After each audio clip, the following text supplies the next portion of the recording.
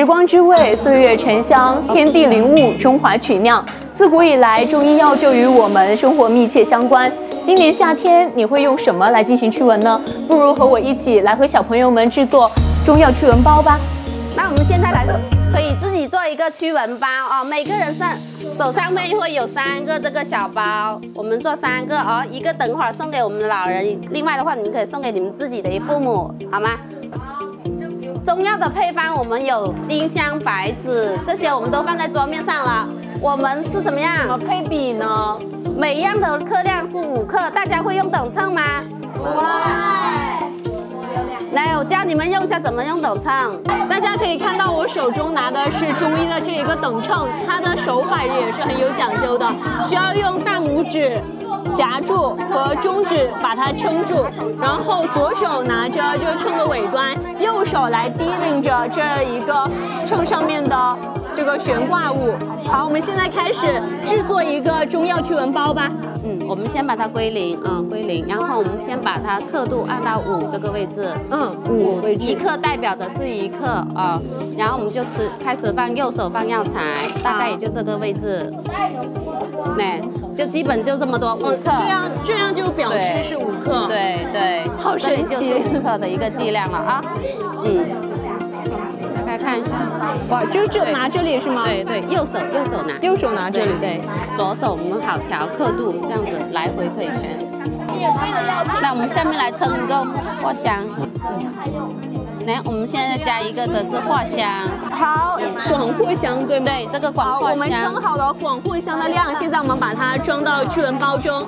嗯，好，广藿香它有可以。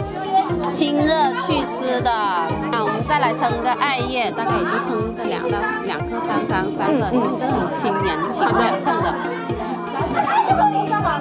来，我帮你放吧。嗯，好，谢谢。大概差不多了。这个是艾叶，对，艾叶有驱蚊的效果呀。驱蚊，对，平时我们也拿来泡脚啊，它清热燥湿止痒。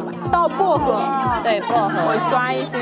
薄荷我们也称好了，薄荷可以清头目、清热、提神的薄荷我们也装好喽。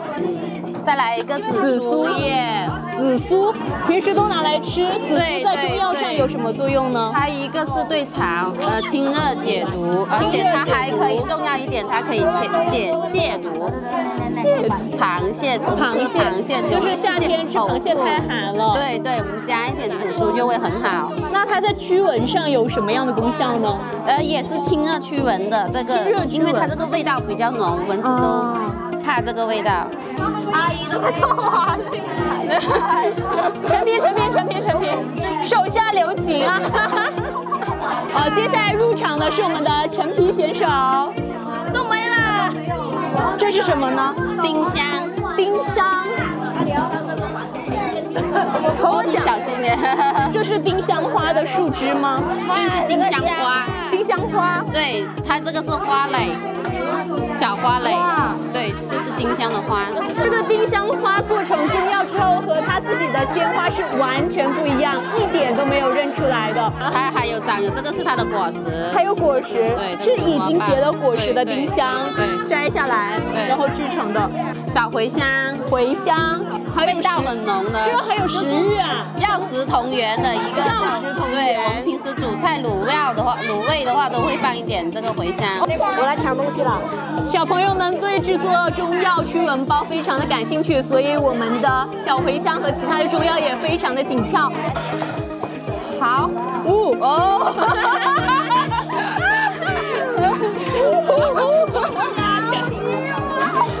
抓到了最后一把石菖蒲啊！谢谢你，谢谢。